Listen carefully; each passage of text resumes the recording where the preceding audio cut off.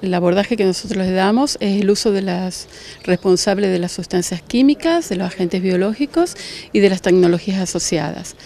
Eh, básicamente el curso está orientado a una toma de conciencia acerca del trabajo que normalmente hacemos en investigación para saber cuál es el impacto que va a tener después en la humanidad. Nosotros siempre trabajamos tratando de desarrollar nuevas tecnologías, nuevos compuestos químicos, agentes biológicos que estén en beneficio de la humanidad, pero hay casos en los cuales han sido utilizados con fines hostiles o en todo caso para evitar generar la contaminación o cualquier otra cosa que resulte en contra del bienestar eh, de las personas y del ambiente.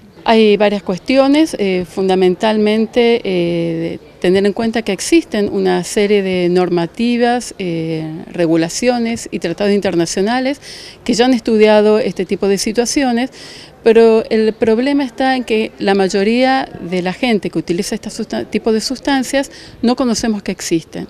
Eh, Argentina eh, ha firmado y ratificado algunos de estos eh, tratados internacionales y tiene que cumplirlos.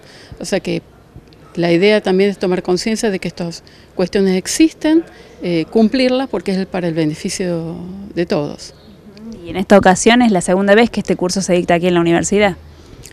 Sí, realmente nos ha llamado mucho la atención y eso me gustaría destacarlo y felicitarlo a la, gestión que tiene esta facultad porque ha tomado este tema de, mucha importancia.